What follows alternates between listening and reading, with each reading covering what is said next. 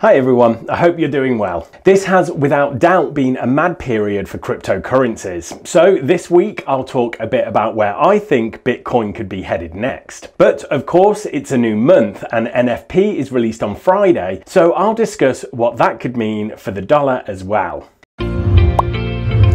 GKFX Prime presents the week ahead.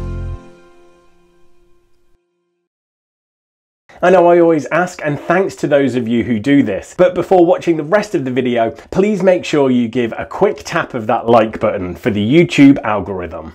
Now, before I talk more about the possible next move in Bitcoin, let's run through the highlights of the economic calendar. CPI data out of Germany is expected to come down slightly to sit right on the ECB's target of 2%. Watch out for an upside surprise because given all the debate over inflation, a number over 2 could push up the euro dollar forex pair. The central bank to watch this week is the Reserve Bank of Australia. It will be interesting to see if they follow in the footsteps of the neighbouring Reserve Bank of New Zealand and signal a late 2022 rate hike.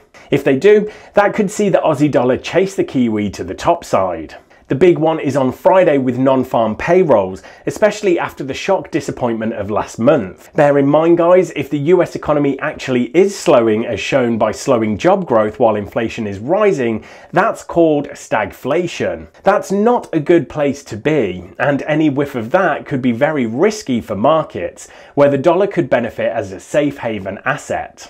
Now let's have a look at the chart of Bitcoin to remind ourselves where we are. Of course, we had the big drop the week before last. Then most of last week was stuck in a 30,000 to $40,000 range. The 4K level is backed up by the 200-day moving average and the January peak. A sustained move above 40 could bring 50 into sight pretty quickly. But what's the chance we see another leg lower below 30k? Well, one thing to bear in mind is that the previous two times that Bitcoin fell under the 200 day moving average after a big bull market, the price ultimately dropped 80% from nearly 20,000 to just over 3,000 in 2018 to 19, and then 70% from nearly 14,000 to under 4,000 later in 2019 through 2020.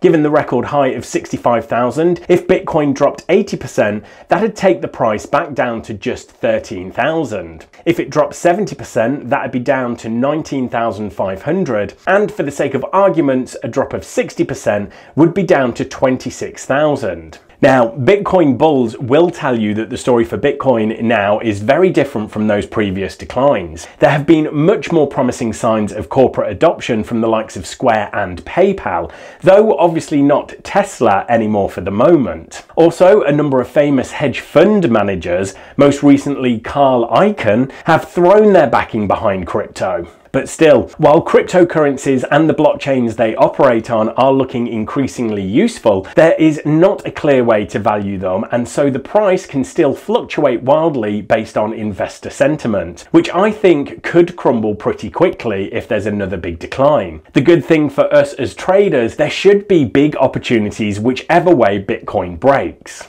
Right, Thanks everyone, good luck trading this week and make sure to subscribe so you don't miss the next episode of The Week Ahead.